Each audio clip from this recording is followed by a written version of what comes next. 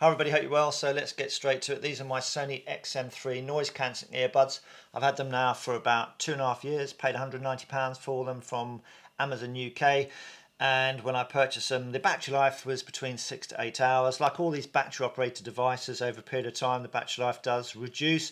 And currently, two and a half years later, we're down to about 45 minutes. So basically, they're not very usable. So rather than throw them away and buy a new set of XM3s, and they're actually still advertised on the Sony website for about £100 or indeed the XM4s which are the updated versions of these for £200 I thought I'd try and save a little bit of money. I am a little bit of a skinflint and basically I've paid and I've actually already put new batteries in here and they work fine by the way. I thought I'd fork out £30 for two new Varta rechargeable batteries uh, and I've got those batteries from eBay. There is a link in the description below from the eBay seller and I've had no issue with these batteries. So I thought I'd just show you folks out there rather than bin these because we do live in a throwaway society. So rather than bin them, it's a five minute job to put new Varta batteries inside these and extend the life of these quite quite nice Sony XM3 noise cancelling earbuds. So if that's something you're interested, it is a five minute job. Stick around and I'll show you how to do it next. So here we go then, what do we need? We need a star headed small screwdriver. If you've ever replaced your mobile phone case or screen, then sometimes in those kits you get these blue picks, shall we call it? So I've got two of those. And also in those kits you get one of these uh, plastic pry tools. That's going to be used to uh, remove the battery. And these picks, we're just going to use those to uh, insert between the top cover and the main body of the earbud just to prise that top cover off and basically I'm using that so you're not going to cause any damage to the earbud itself. Last resort, a couple of things you can use. If you've got a strong thumbnail which you can insert in the gap here, then you can use that to pry that cover off. And if you've got no uh, nails at all, then you can use a thin bladed, uh, flat bladed screwdriver but you are potentially going to cause some damage so I wouldn't recommend that. But if you've got nothing else then that may be uh, your only means of just prying this top cover off of the earbud to give you access to the battery. So let's remove this cover then. So basically folks what we're trying to achieve is to remove this top cover off to give us access to two small screws which are, I don't know if you can see them, which are under here hence the reason we need to use a small star shaped screwdriver. And then the battery sits under here. Then we just peel this section back and then we can remove the battery. So that's what we are trying to do in removing this top cover here to give access to that. So I'll show you how we do it. And I'll I'll let this run real time actually So here's the earbud. Again, I've already I put the new batteries in there. So if you've got a strong thumbnail, you can try and run your thumbnail in the joint here and prise it off. I know this one's going to come off fairly easily actually. Um, but using the pick tool, you can put the thin end in here. It's a shame they don't have a, a recess so you can put something in there and then just try and pry it out. So if you can get your thumbnail in there to start it and then insert the pick and then basically all you're trying to do is work your way around all the way around to then allow you to remove the top cover again there'll come a point where you may just be able to pull it off it might be a little bit uh, tricky to start with because you've got some sticky tape on the top here so that will just offer a little bit of a resistance but it will come off. Just take your time and try not to snap anything. So there we go there we go we've got access to the top of the earbud. I can put that pick away now. So what we need to do now do is remove two small screws using your small screwdriver.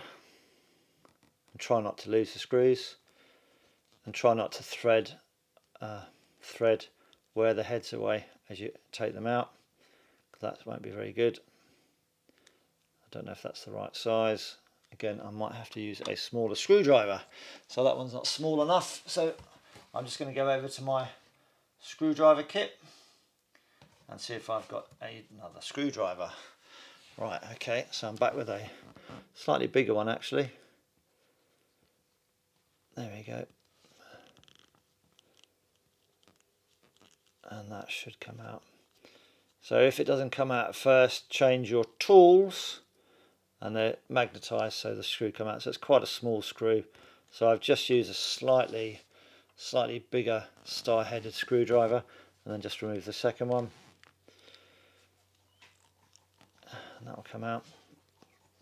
Again I'm doing this real time. I've already put the new batteries in but I'm just showing you folks that it's a fairly not easy yeah it's a fairly easy job to do in reality. So there's the two little screws and there's the screwdriver used.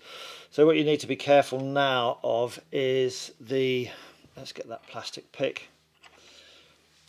In here this is a, a ribbon for um, sending data from the, the, the lower part of the device to the top part. So that's sort of the hinge and you, you don't want to damage that otherwise you can go and spend another hundred pounds on a new set of earbuds or even more money if you want to get the XM4s so basically we can just pull this away.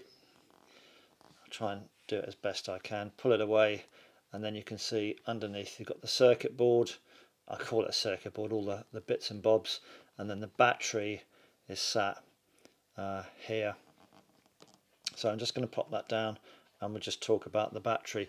So these are the old batches that I've taken out and when I got the batteries I made the schoolboy error of not removing all the tape so you can see there's yellow tape that I've put on it and when I put the battery into the earbud that way down obviously because the tape was still on it and when I uh, started it up uh, there was no power in it obviously because I'd left the tape on so just make sure you remove all the tape from the battery and you won't make that schoolboy error like I did.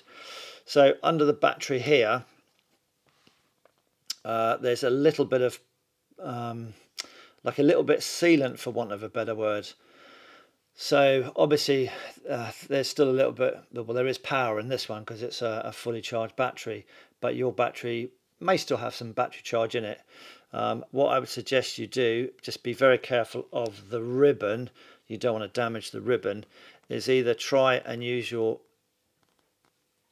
thumb to just prise the battery up and away.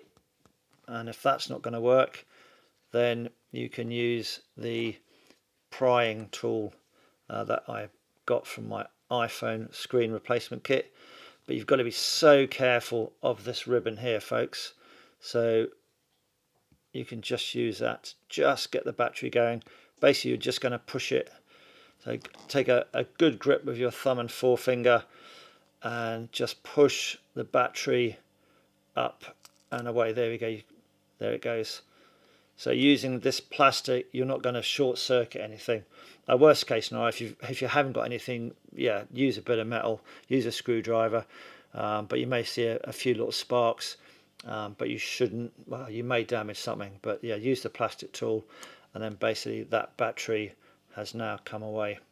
And I don't know if you can see uh, on the underside here but there is a little bit of um, plastic like silicone I don't know what you want to call it under there. If this uh, metal plate pops out it only goes in one way.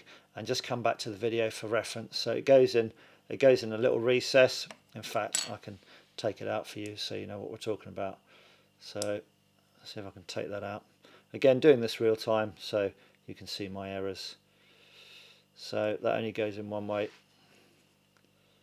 Try not to. In fact, I won't pull that out because the plastic um, silicone, for want of a better word, is actually still in the bottom here and so that's going to stop it coming out so I'll leave that in there so uh, your new battery, making sure there's no yellow tape on the battery, and it goes in uh, Varta uh, name side down, so like this.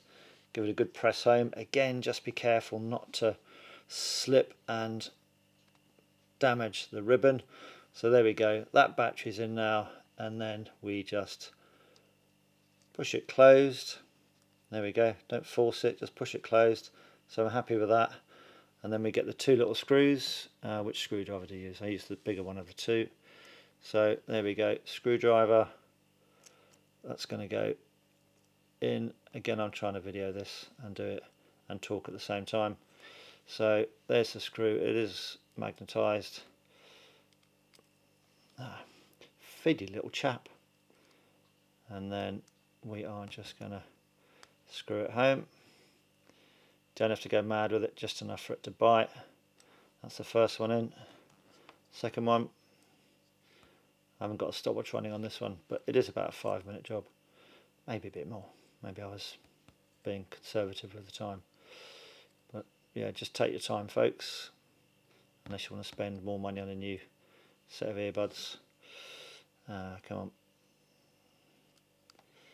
Right and there goes the second one.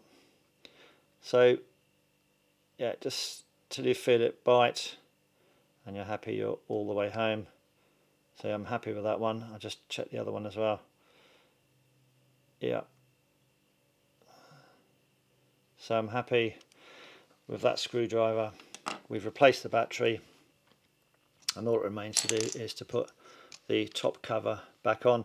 There might be a little bit of I know sealant or something around here but I don't think it's a waterproof jobby and then basically you can see that there's the high part here and there's the cover and then the high part sits on there. And basically it's a, a push down job equally all the way around. And there we go. And that is a new battery in your Sony XM3 earbud. So what we'll do next is I'll show you how to basically do a, a, a reset on them so what we're going to do now is a reset of the earbuds so open the case they're still being charged at the moment hence the two lights are showing red so just on the touch center part of the earbud just press and hold and then you'll see the light will start to flash very shortly, about 15 seconds, and then you're waiting for that red light to disappear. There's the flash. So it's going through whatever it goes through just to reset itself. And it goes a little bit faster, and then it will eventually disappear. And that's that one reset. And we do exactly the same for the other one as well. And there we go, the red lights come back on. That means it's, it's um, charging itself now and if you've already um, paired it to a phone device etc even with the reset that will not uh, drop that already paired device so no issues there so nearly finished folks just got to make sure you're running the latest software for your Sony earbuds so once they've been charged take them out of the case fire up your iPhone make sure they're connected via Bluetooth go to the Sony Connect app which controls the settings on the earbuds and then just tap on the top right hand corner and then scroll down and it will tell you exactly what software you are running. Currently the latest version as of uh, March 2022 is 3.1.2 I think it is. So that's the latest software. Just follow the on-screen instructions to update it to the latest software. What you will find though when you do update to the latest software is the battery remaining uh, indicator on your phone will maybe not be showing the correct um, percentage of battery left it might just be stuck at 100% that's quite normal the instructions do say that after a software update this will happen until you've uh, discharged recharged recharged discharged recharged a couple of times and then everything kicks back in and syncs together. And then the battery indicator on your phone per left and right earbud will actually show the correct discharge um, and the correct battery life that is left. So don't worry if it's stuck 100% it should start to drop down uh, within about two or three uh, discharges and recharges. And the only thing left for me to say is um, before I put the new batteries in and I've been running them for about two days now I was getting between 45 and 50 minutes. Now I'm getting between four and a half and five hours or thereabouts. These are very uh, awkward um, uh, times to to try and work out. Uh, basically, the manual does does say that you should be getting between six hours with the uh, noise reduction, etc., switched on, and maybe eight hours maximum with it switched off. Well, I've got my two German Shepherds when I'm walking. I've got the equalizer on, and then I've also got the either the uh, noise cancelling on or the uh, wind reduction on so the filters are working quite hard. So I'm getting between uh, four and a half and uh, over five hours so I'm more than happy with that. So it's a very quick five minute fix for each of the buds. If it's been of some use to yourself please give us a like and a thumbs up. That'd be very much appreciated. If not make any comments if I've got anything wrong. Uh, please put them in the comment section down below so other people can learn by any mistakes that I've made in this presentation of the video. Other than that folks hope you liked it. Hope it's been of some benefit to yourself. And as ever be happy and stay safe